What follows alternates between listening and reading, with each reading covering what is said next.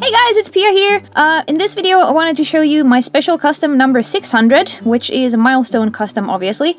Um, this is a custom that took me a lot of time to make, and I put a lot of effort into it because it has a lot of details.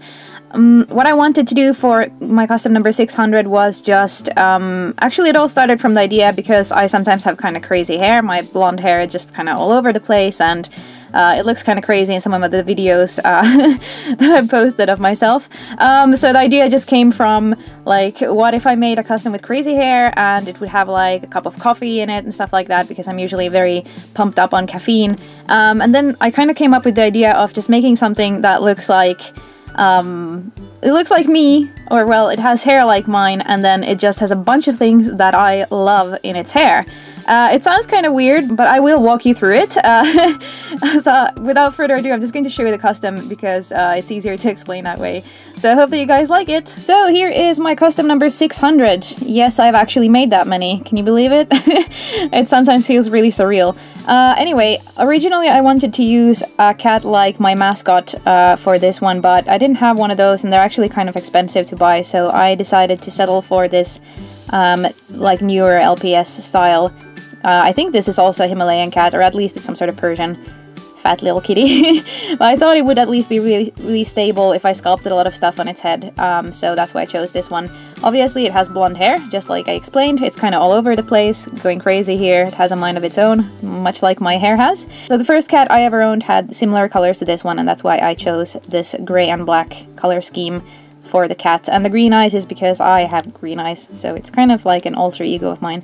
Uh, and then I'm just gonna start taking you through all of these details that I have in the hair so that you understand why they're there.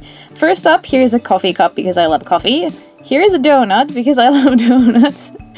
um, here is a microphone up here because I love singing, even though I'm not that good at it, but it's something that me and my husband do a lot. He plays the guitar and I sing, so I thought I would represent that in this custom as well. Um, here is a camera because I do love photography. You might not know that, but I actually really do love it a lot. It's one of my favorite hobbies. Here's some sort of engagement or wedding ring. Um, it looks like nothing like mine, but it is a very important thing for me that I am married, um, so I wanted to include a little wedding ring in this one. Next up, we have an Instagram logo here. Um, that's because when I started making LPS customs, um, a while after that, I started posting them on Instagram, and I got kind of, um, well, I first got kind of famous on Instagram, I guess, and then I moved over to YouTube, uh, which is here, represented as the play button.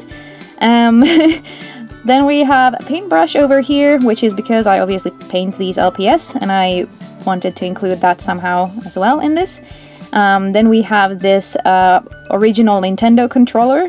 That's because I love gaming, especially retro games like the Nintendo. That was actually the first game console that I had when I was little. Um, then up next we have we have the TV tower in Berlin. Um, I wanted to represent Berlin somehow in this because me and my husband do go there a lot, and it's my favorite place in the world.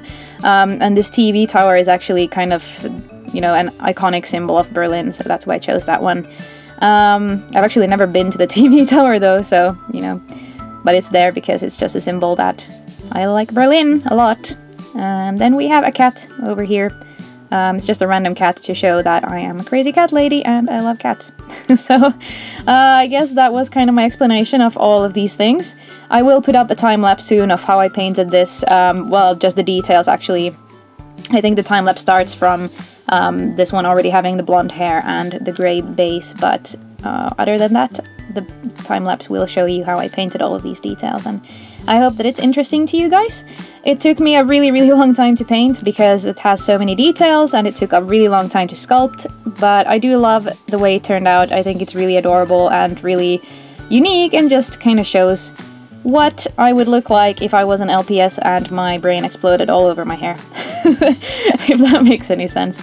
Sounded very gruesome, I'm sorry. Um, but yeah, no, it's, uh, I just thought it would be fun to do something like this um, as an LPS, and so I went for it. So yeah, I hope that you guys thought that this one looked cool, and I hope that you enjoyed my little explanation of it. And if you guys were to make a custom similar to this, what would you have in your hair? And is your hair even crazy? That is my question to you, my dear watchers. but yeah, um, I guess I don't have that much more to say about her, so I will end this video now. But I hope that you guys liked it, and see you again tomorrow. Bye!